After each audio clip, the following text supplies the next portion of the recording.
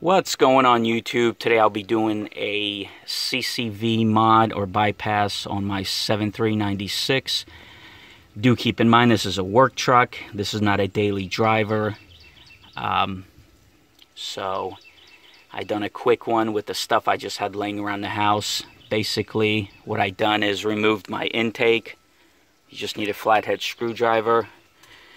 Um, there's two bolts on here right behind here 10 millimeter remove that. Once you remove that there was a nipple in here that stood about uh, about an inch inch and a half tall. It was from the it was original for the bypass stuff to go in and then it gets sucked into the turbo. What it is there's only one screw Phillips screw holding it. It pops out.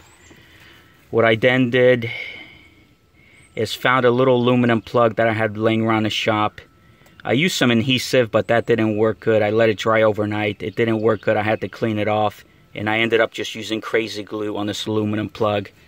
Um, and now it's good. I still have to clean it up a little bit. But you do want to plug up that hole.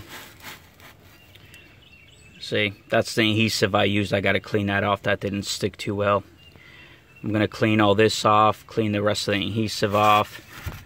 But you want to plug that up and basically, without the bypass, what it's doing is sucking all that gunk into the turbo. All that oil bypass crap is going right into the turbo. So I'm going to end up removing this silicone hose here, getting a rag, cleaning it all out really good. Now for the bypass, uh, three quarters hose, clamp, zip tie, two feet of hose, and it's going to drain right by my steering box. Like I said, it's a work truck.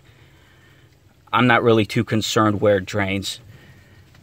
Um, another thing, I've seen a lot of videos before I did do this mod, and I was just amazed how people come up with some crazy shit. I mean, I've seen some guy actually plumb from this point with PVC piping, gray outdoor, down all the way back to the back axle to have it drain. That's to me, that's insane.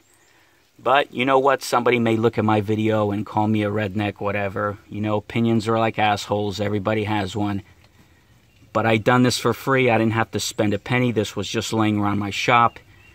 Um, you know, if this was a daily driver, I might have spent a little bit of money and made it look nicer, but I'm not worried about it. It is what it is. This truck is only used once in a while.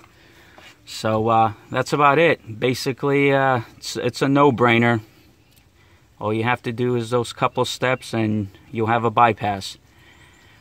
Thank you for watching.